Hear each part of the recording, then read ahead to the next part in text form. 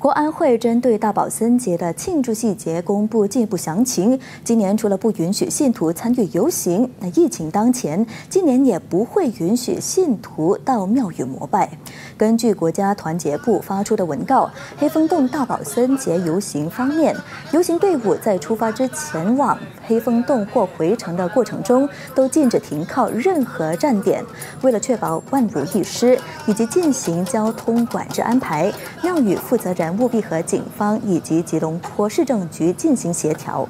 国家团结部表示，考量到大宝森节游行对这个节日的重要性，而且也象征着节日的开始，因此允许通融。